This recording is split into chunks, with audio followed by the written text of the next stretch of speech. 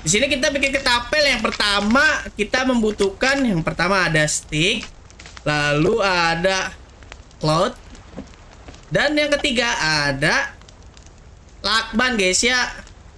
Lalu kita mengkombinasi apa? Ketapel guys ya di sini ketapelnya bisa untuk nyodok pala si Daus guys.